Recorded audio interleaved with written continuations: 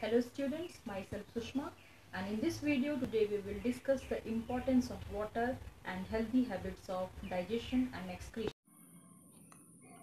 Water is very important for our body. We need water for almost every metabolic processes. About 3 4th or 70% of our body weight is water. Insufficient water in the body causes improper bowel movement that leads to constipation. Toxins produced in our body won't exit without water. It also regulate body temperature. So it is essential to drink 8 to 10 glass of water every day. Now let's see healthy habits for digestion and excretion.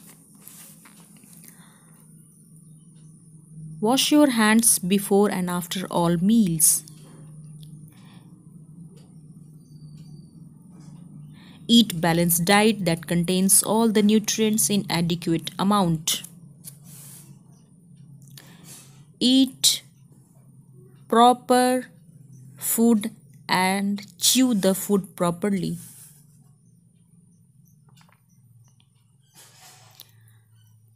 Try to avoid junk food and fatty food.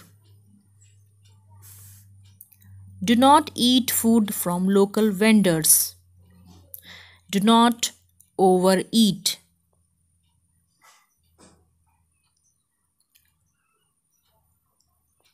Do not sleep immediately after eating.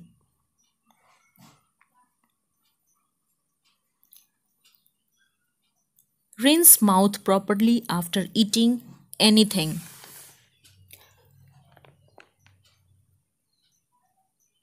So by following these habits, we can stay fit and healthy. This is the end of the lesson. So do take care of yourself. Stay safe. Stay healthy. Thank you.